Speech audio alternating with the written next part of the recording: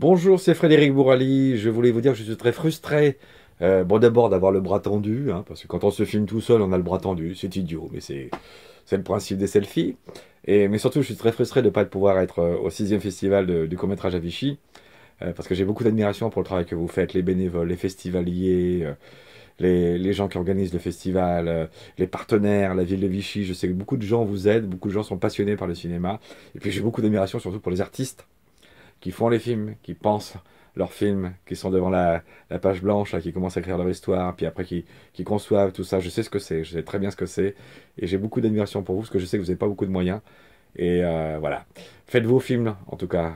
Euh, n'imitez personne. Euh, plus vous faites un film personnel, plus vous parlez aux gens. Si vous voulez faire plaisir à tout le monde, vous ne plaisez à personne. Voilà. J'espère vous revoir l'an prochain, parce que j'ai beaucoup de d'émotion euh, en parlant de ce festival. J'en parle beaucoup autour de moi. J'espère que les gens suivent euh, votre actualité. À très bientôt. Vive le cinéma et, vivement l'an prochain. Et vive les films. Au revoir.